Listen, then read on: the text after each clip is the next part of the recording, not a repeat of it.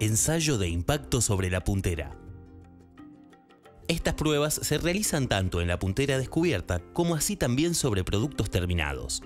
El ensayo consiste en dejar caer una masa sobre la puntera para generar un impacto de 200 Joule de energía. En el interior se coloca una probeta de plastilina cuya información es medida luego del impacto.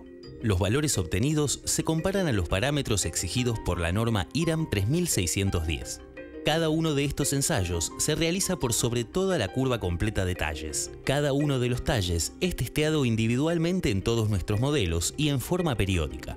El objetivo es lograr un calzado de seguridad que dé una protección efectiva ante un impacto inesperado dentro del entorno laboral.